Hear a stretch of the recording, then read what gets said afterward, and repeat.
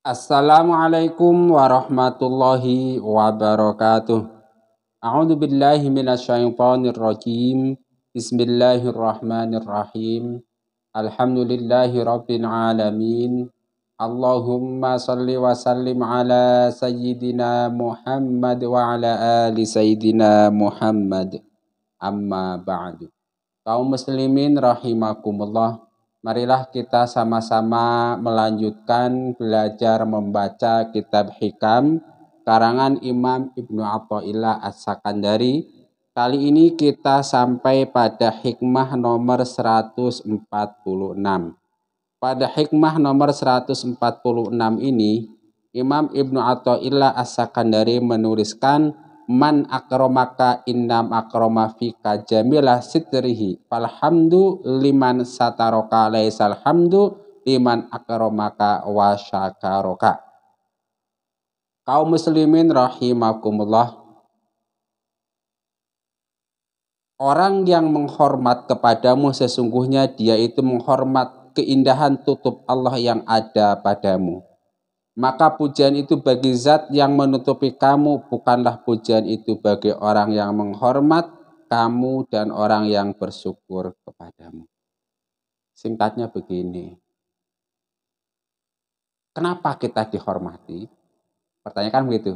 Karena aib kita ditutupi oleh Allah Subhanahu wa taala. Kalau begitu, yang patut dihormati, kalau begitu yang patut dipuji bukan diri kita. Kenapa? Karena diri kita penuh aib. Lalu faktanya ada orang yang memuji kita, ada orang yang menghormati kita semata-mata dia sebenarnya bukan menghormati kita, tapi menghormati tutup Allah dalam tanda petik yang ada pada kita. Selama Allah menutupi aib kita, akan banyak orang yang menghormati kita, akan banyak orang yang memuji kita. Nah, kalau demikian, yang patut dipuji adalah bukan kita, tetapi Allah Subhanahu wa Ta'ala yang sudah menutupi kita, menutupi aib-aib kita. Nah, kata kuncinya begini: sumbernya dari kata yang paling dasar sejak kecil kita itu sudah diajarkan oleh guru-guru kita, oleh orang-orang orang-orang tua kita, yaitu lafal Alhamdulillahirabbil alamin. Segala puji bagi Allah, semua puji hanya kepunyaan.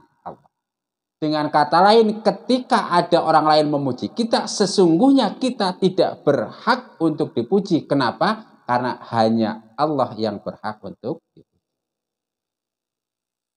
Kalau kita dipuji oleh orang, sesungguhnya kita itu tidak punya hak untuk dipuji.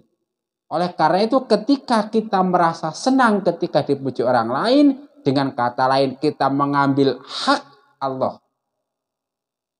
Maka hati-hati, jangan sampai kita salah ketika kita Lalu setelah kita tahu bahwa pujian itu hak Allah, bahwa pujian itu yang patut hanya kepada Allah Subhanahu wa taala, maka kita kembalikan kepada Allah ketika ada orang memuji, wah kamu mantep orang soleh orang baik kita kembalikan kepada Allah. Alhamdulillahirabbil alamin. Kita ucapkan alhamdulillahirabbil alamin itu dalam rangka hati kita mengakui bahwa kita ini sebetulnya nggak patut dipuji, karena apa? Karena semua puji kepunyaan Allah. Alhamdulillahirrahmanirrahim.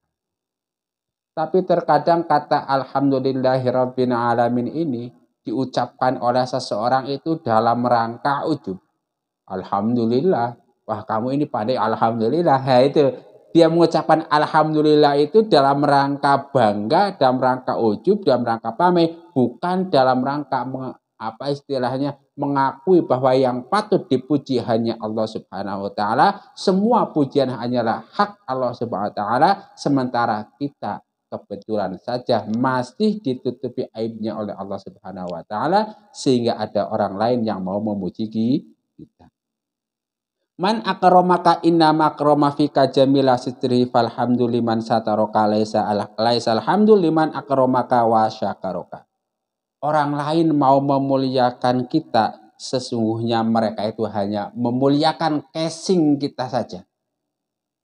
Sementara pujian, syukur, semuanya hanya milik Allah Subhanahu wa Ta'ala.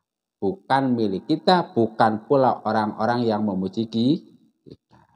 Disingkat kata, contohnya misalnya nih contoh koruptor lah.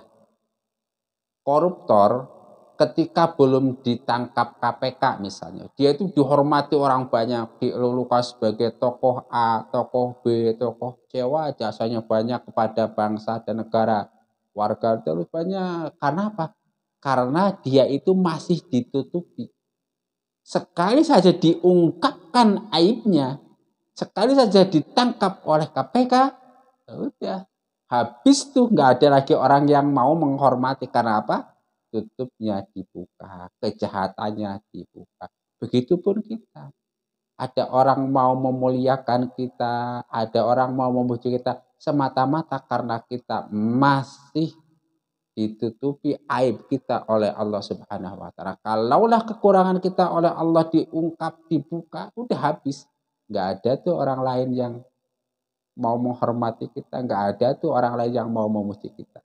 Karena apa? Semua pujian hakikatnya milik Allah Subhanahu wa taala. Kita ini siapa? Enggak punya apa-apa. Kita bahkan milik Allah. Orang kita milik orang lain yang dipuji ini milik orang lain kok kita ikut se Kemudian bermanfaat. Rabbana taqabbal minna innaka antas samiul alim wa tub alaina innaka antat tawwabur rahim. Subhanakallahumma wa bihamdika asyhadu an la ilaha illa anta Astagfiruka wa atubu ilaik. Wa minkum. Wassalamualaikum warahmatullahi wabarakatuh.